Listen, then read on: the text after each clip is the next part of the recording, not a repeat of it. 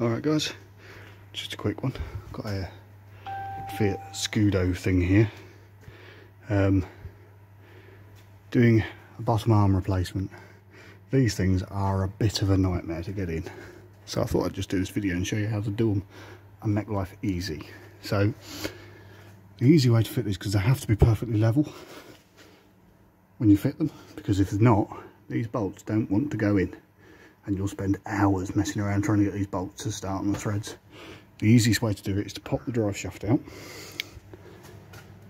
like that, out to the side, undo both anti-roll bar drop links off both sides, so that you can pick this up, and then the arm the um, anti-roll bar will move on these two bolts, then you move it all around, and then they fit quite easy.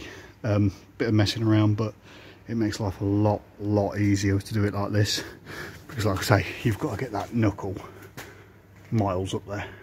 Um, and then obviously you've got to bend it back down again to get it back on. But it's easier to do it like this than it is to try to do it with it all together.